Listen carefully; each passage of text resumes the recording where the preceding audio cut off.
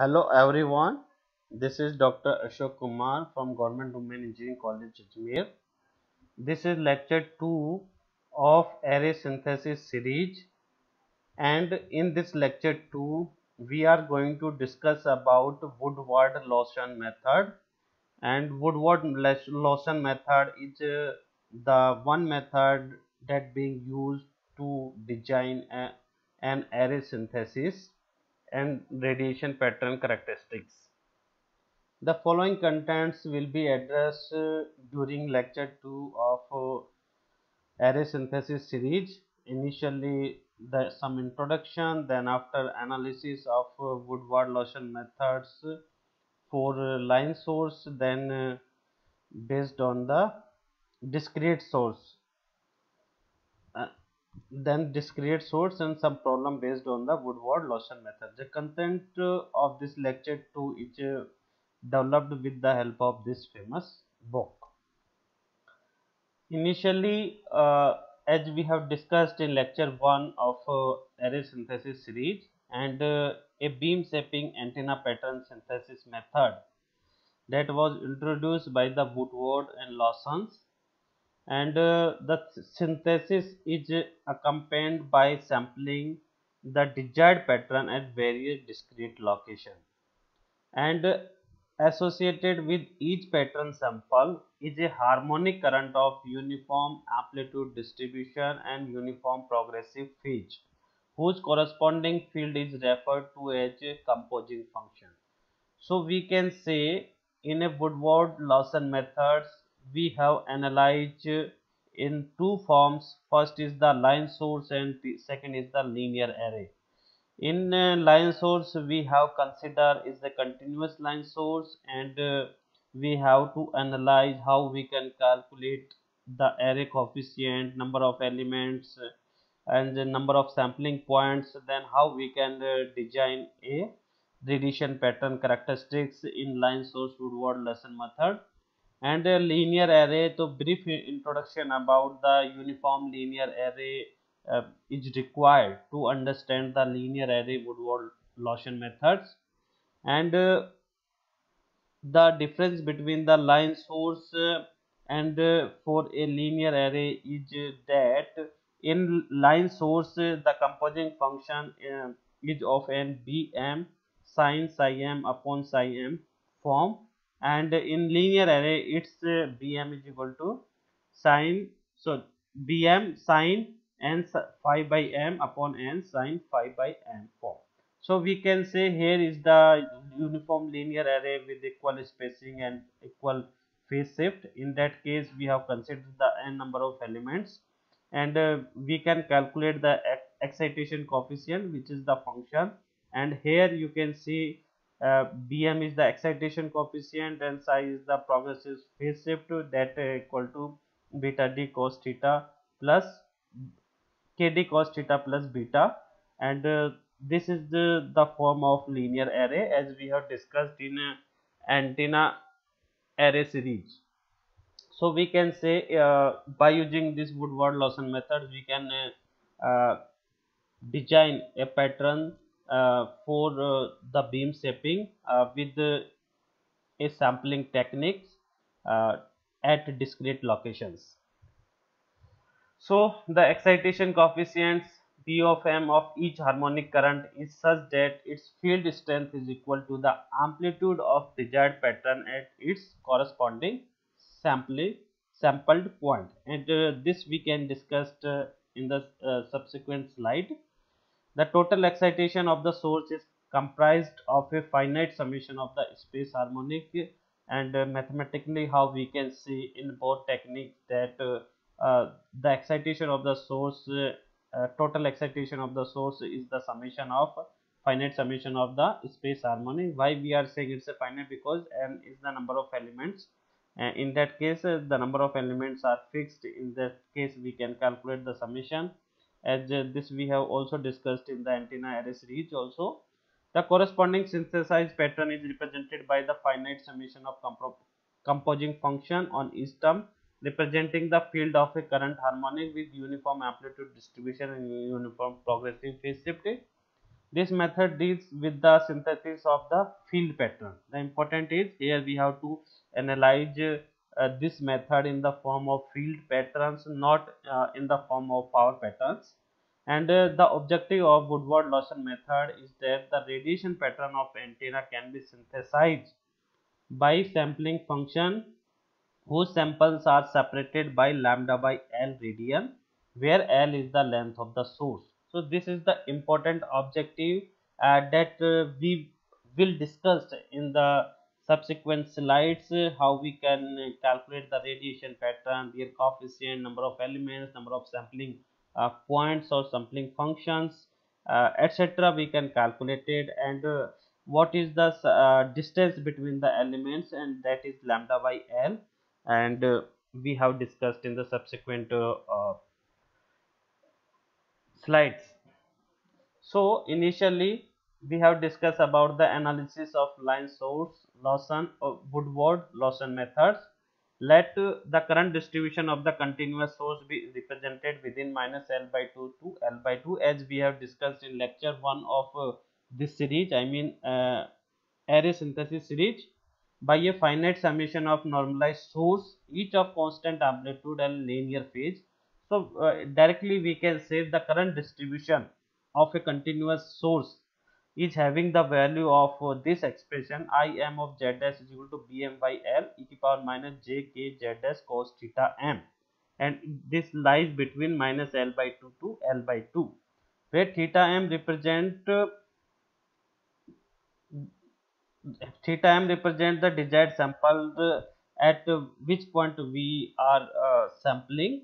And the total current of I of Z dash is uh, a some finite summation of 2m even samples or 2m plus 1 odd sample current sources and each of the form of equation 9 I Z dash is equal to 1 by L summation of uh, minus m to capital of M b of m e to power minus j k z dash cos theta m. So we can say this is uh, the current distribution for the single source and this is the total current uh, for the 2m uh, even samples and 2m plus 1 odd sample current sources. So we can say this equation 9 for the single source and equation 10 for the 2m even samples or we can say 2m plus 1 odd sample current sources where m is equal to plus minus 1 by 2 2m plus minus m for 2m even number of samples and m is equal to 0 to plus minus m for 2m plus 1 odd number of samples. So we can say when we are we are going to analyze uh, the Lawson uh, Woodward Lawson method through a line source then we can generally consider it's a odd number of samples. So we have considered the value of m uh, by equation 10b. Associated with each current source of equation 9 is a corresponding field pattern of normalized uniform current distribution of the form and that uh, we have represented field pattern Sm of theta is equal to Bm and this we have to calculate it and uh, this we can calculate uh, by using uh, the Fourier transform analysis or we can say in a linear array and the maximum of uh, this field pattern is occurs when theta is equal to theta m. So the total pattern is obtained by summing 2m even samples or 2m plus 1 odd samples term of each of the form as given. So this is the the field pattern uh, radiated by the individual current source. If, if uh, 2m plus 1 even odd and 2m even samples are exist in that case we can calculate the total pattern. And the total pattern uh, we have calculated in the form of space factor and uh, here you can see equation 12 is represented the total field radiated by the 2m uh, even sources or 2m plus 1 odd sources. So we are considering the value of m then after we can calculate the space factor the maximum of individual term in equation 12 occurs when theta is equal to theta m as we have discussed and it is equal to the space factor theta is equal to theta m. So uh, considering theta is equal to theta m then we can calculate the maxima of the pattern. In addition which uh, one in the form of equation 12 attain its maximum value at sample theta is equal to theta m and all other terms of equation 12 which are associated with the other samples are zeros at theta is equal to theta m. So we can say one is the maxima and other terms are the zeros as we are taking at different sampling points. In other words, we can say all sampling terms, I mean composing functions of equation 12 are 0 at all frequency point other than at their own. Thus, at each sampling point, the total field equal to the that of that of the sample. So, this is the basic uh, properties of the line source Lawson Woodward Lawson methods and this is very very important for analyzing the array synthesis when we are considering the Woodward Lawson method. Then further we have to calculate some important parameters that needs to be uh, required to understand how we can calculate. The first is the excitation coefficient and uh, if the desired space factor is sampled at theta is equal to theta m the excitation coefficient uh, bm can be made equal to its value at the sample points theta m. So we can say bm is equal to space factor theta is equal to theta m. The reconstructed pattern is then given by equation 12 and is appro appro approximate closely the desired pattern Second is the sampling separation. In order for the synthesized pattern to satisfy the periodicity requirement of 2 pi for real values of theta, I mean visible region, and to faithfully reconstruct the desired pattern, each sample should be represented by, I mean each sample should be separated by k z dash delta z dash ka mode equal to L or we can say magnitude of z dash equal to L so we can say which is equal to twice, twice of 5. We are putting the value of k is equal to 2 pi upon lambda. Then we can get the sampling separation delta. Here we have to represent equal to lambda by L as we have discussed in the introduction about the sam each sample having the sampling separation equal to lambda by L. Where is the length of the line source? And third important is the sampling angle and sampling angle uh, first uh, before going to calculate the sampling angle first we need to understand the location of the each samples which is equal to cos theta m is equal to m into delta equal to m delta is equal to lambda by l. We are putting from equation 13a then after we will get the value of cos theta m for the odd number of samples. And for the even number of samples we can calculate 2m minus 1 by 2 del. And del we are putting lambda by l for even number of samples and for even number of samples at minus 1 minus 2 and so on.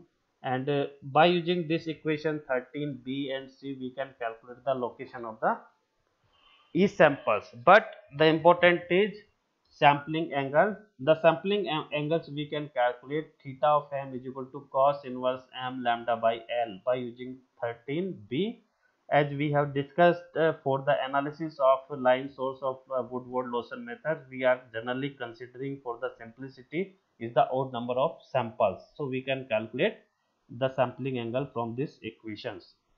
M is the number of elements uh, should be closest integer to the M equal to L by lambda. So, this is again important through which we can calculate the number of elements in the array we have considered one example and uh, this example uh, is taken from this book and uh, using the Woodward Lawson method a line source of L equal to 5 lambda whose space factor is given as of uh, SF of theta is equal to sine cube theta. This is important and theta value lies from between 0 to 180 degree.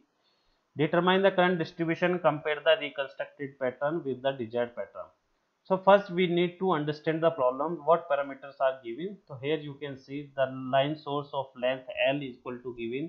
L is equal to 5 lambda is given and space factor is, is given for the range 0 to degree to 180 degree. So the desired excitation coefficient and other parameters we can calculate for the line source of length l is equal to 5 lambda. So considering uh, the number of elements m is equal to which is equal to l upon lambda. So uh, m we can get l upon lambda l is equal to 5 lambda upon lambda. So 5 and sampling separation we can calculate using equation 13a this is the sampling separation. So delta is equal to lambda by l l is equal to 5 lambda. So lambda to lambda is cancelled out. So del is equal to 0.2 so we can say the sampling separation delta is equal to 0.2 so the total number of sampling points we can consider as we have discussed is uh, 2m plus 1 in that case total number of sampling points is the 11 and the value of small m we have considered 0 plus minus 1 plus minus 2 plus minus 3 plus minus 4 and plus minus 5 so when we are calculating uh, considering these all points in that case we are getting 11 sampling points and each sampling points having the sampling separation 0.2 and then further we need to calculate the angle where the sampling is performed according to equation 13b as we have discussed we have considered the equation theta of m is equal to cos inverse m of delta which is equal to m lambda by l. Cos inverse m this is the expression.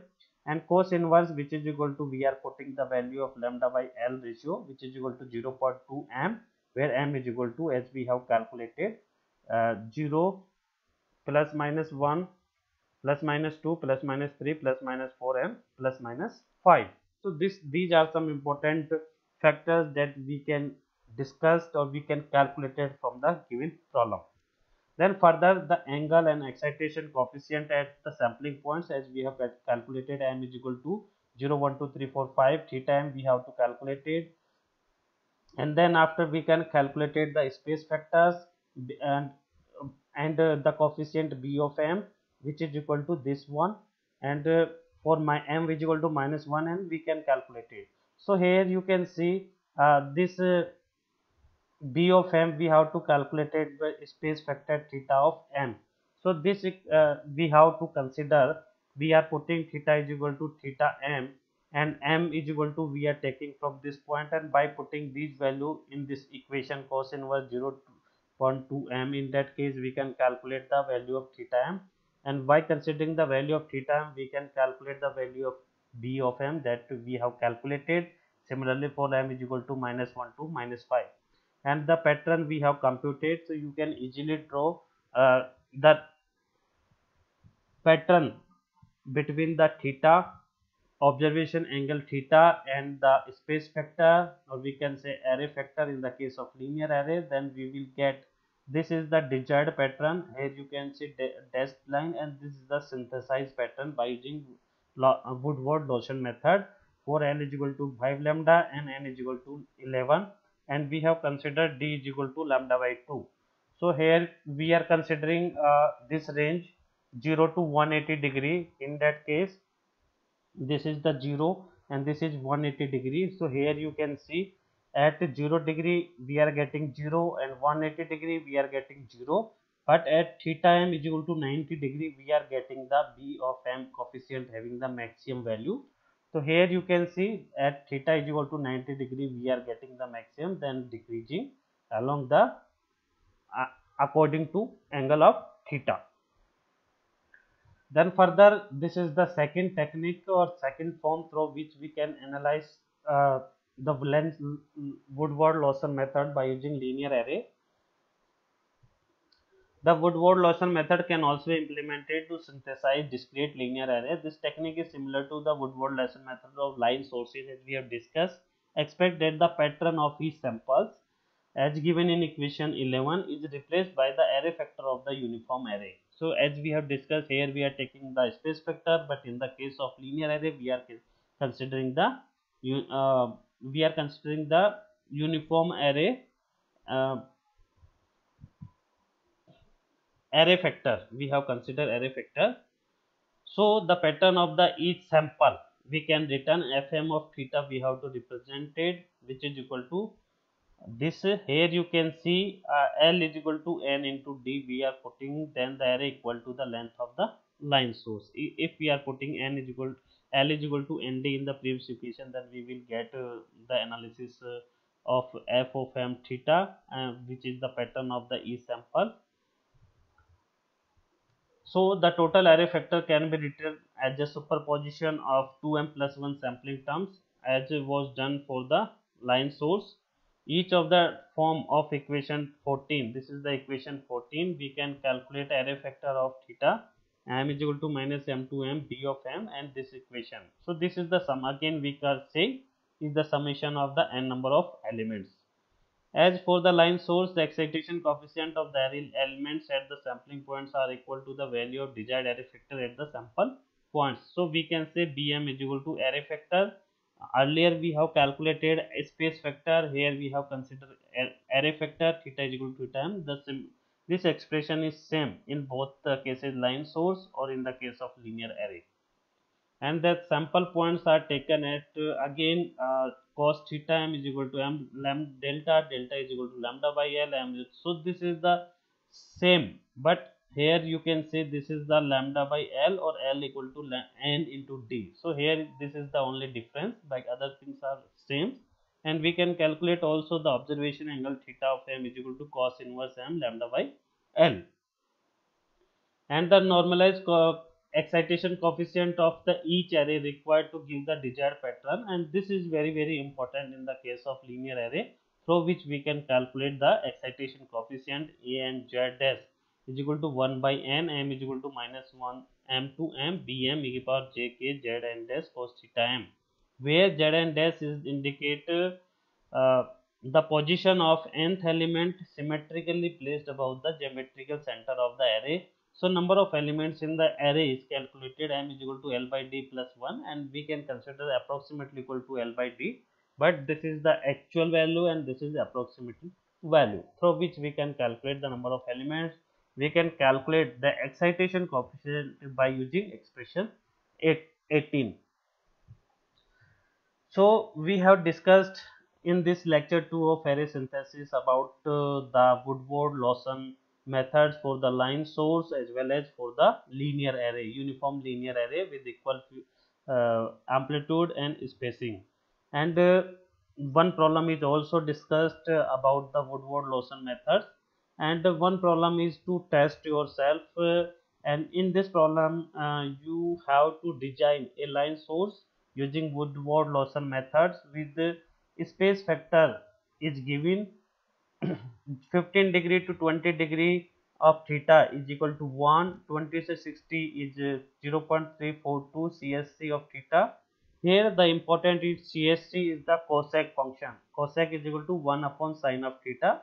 So you can consider 0.342 upon sine theta is similar to the 0.342 cosec theta Plot the reconstructed pattern for L is equal to 20 lambda and compare it with the desired pattern. So here you can see you can calculate the number of elements which is equal to uh, twice of lambda. Twice of uh, 20 of lambda is given L. So we can calculate the separation distance and then after observation angle then we can calculate uh, for the different values of M and we can solve this problem and same problem we are repeated uh, but uh, for the linear array of 41 elements with the spacing d is equal to lambda by 2 so we can consider the same pro procedure and we can find out for the spacing d is equal to lambda by 2 we can get the uh, we can design a linear array uh, using the Woodward Lawson method. Thank you very much uh, everyone for watching this lecture. I hope this lecture is beneficial for you